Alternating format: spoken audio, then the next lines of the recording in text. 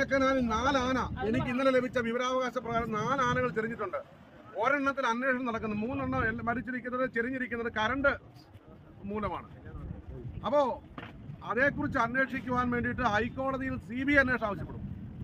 അതല്ലെങ്കിൽ C B അന്വേഷണം ഹൈക്കോടതിയെ തള്ളിക്കളഞ്ഞാൽ സുപ്രീം കോടതി പോകും. ഈ ആനകളുടെ മരിച്ചതിന് ദുരൂഹത നീക്കണം എന്നുള്ളത് ഒരു സംശയമുള്ള കാര്യമല്ല. അത് ഏതൊക്കെ വരെ ഞങ്ങൾ പോകും.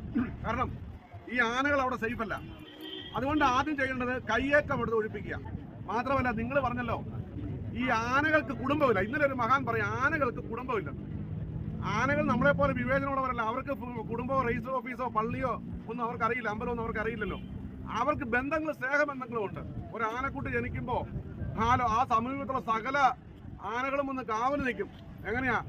ഒരു ഒരു ഒരു ഒരു ഉറുമ്പിന് പോലും അതിനെ തൊടാൻ വയ്യാത്ത രീതിയിൽ അതിനെ കാവൽ നിന്നാണ് പ്രസവം നടക്കുന്നത്. അത്രയും അവർ സ്നേഹബന്ധങ്ങൾ പരസ്പരം ഉള്ളവർ ആനകൾ എന്ന് പറയുന്നത് അപ്പൊ ഈ ആനകൾ എങ്ങനെയാണ്? ആനകൾക്ക് ഭാര്യയില്ല. ആ ഭാര്യ എന്ന പദം മനുഷ്യൻ കണ്ടുപിടിച്ചതാണ്. ആനയ്ക്ക് പിടിയാനകളുണ്ട് മക്കളുണ്ട് കൂട്ടുകാരുണ്ട്. ഇപ്പൊ ചക്കക്കൊമ്പം കാരണമാണ് ആനയ്ക്ക് ഇന്നലെ ഒരു മഹാൻ പറയുന്നത് കേട്ട് ചക്കക്കൊമ്പം കാരണമാണ് ആനയുടെ കയ്യിൽ എന്താ തുമ്പിക്കൈ മുറിവ് വന്നത്. അത് പുതിയൊരു അറിവാ. അന്ന് പറഞ്ഞത് എന്താണ്? അവിടെ കൊണ്ട് കുമളി കൊണ്ട് വിട്ട സമയത്ത് തേക്കടി കൊണ്ട് വിട്ട സമയത്ത് ഉണ്ടായ മുറിവാണ്. പിന്നീട് പറഞ്ഞത് എന്താണ്? ലോറിയെ കയറ്റിപ്പോണ്ട്. ഇപ്പോൾ ഇന്നലെ മാറ്റി പറയുക. അപ്പോ ഇതൊക്കെ പൊതുസമൂഹത്തിന് അറിയണം. എന്താണ് മുറിവ്? അതുപോലെ തന്നെ ഈ ആനയ്ക്ക് അന്ന് ആനയെ റീലൊക്കേറ്റ് ചെയ്തപ്പോൾ പറഞ്ഞ എന്താണ് ഡോക്ടർ ആനയ്ക്ക് ഒരു പ്രശ്നമല്ല ഹാപ്പിയാന്നാ പറഞ്ഞത്. ആനയ്ക്ക് മൂന്ന് നേരം മരുന്ന് കൊടുത്തു വിട്ടിരിക്കുകയായിരുന്നു അറിയില്ലേ? ഇതൊക്കെ ആരോടെ ആരെ ബോധിപ്പിക്കാനാണ്? അതിനുശേഷം സംഭവിച്ചത് എന്താണ്? നമ്മൾ കണ്ടു കമ്പത്തിറങ്ങി ആനയെ പിടിച്ചപ്പോൾ ആനയുടെ കയ്യിലെ തുമ്പിക്കയിലെ വലിയ മുറിവ് നമ്മൾ കണ്ടില്ലേ? അപ്പോൾ അവിടെ വെച്ച് മരുന്ന് കൊടുത്ത് വിട്ടിട്ടുണ്ടെന്ന് പറയുന്നു. നമുക്കറിയാലോ ഒരു നേരത്തെ മരുന്ന് കഴിച്ചാൽ ഒരു ഒരു രോഗവും മാറത്തില്ല. അപ്പൊ ഇതിലൊക്കെ ഒത്തിരി കാര്യങ്ങൾ ഞങ്ങൾക്ക് ബോധ്യപ്പെട് വരുവാനുണ്ട്. ഇതൊക്കെ ഞങ്ങളുടെ ആവശ്യങ്ങളാണ്.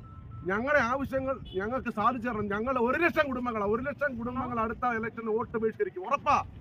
ഒരു ലക്ഷം കുടുംബങ്ങളാണ് വോട്ട് ബഹിഷ്കരിക്കാൻ നമ്മുടെ പെറ്റീഷണർ ഈ പറയുന്ന ബന്ധപ്പെട്ടിട്ടുള്ള ഉദ്യോഗസ്ഥയെ വിളിച്ചിരുന്നു. ഞങ്ങൾക്ക് ഞങ്ങളുടെ പെറ്റീഷണറാണ് ഏതെങ്കിലും രീതിയിൽ ഞങ്ങൾക്ക് ഞങ്ങളുടെ വൈകാരികതയെങ്കിലും മാനിക്കണം. ഞങ്ങൾ നിയമപരമായി ഒന്നും പറയുന്നില്ല. ഞങ്ങളുടെ വൈകാരികതയെങ്കിലും ഞങ്ങൾ ഒരു ഒരു പറ്റം ആൾക്കാരുണ്ട്.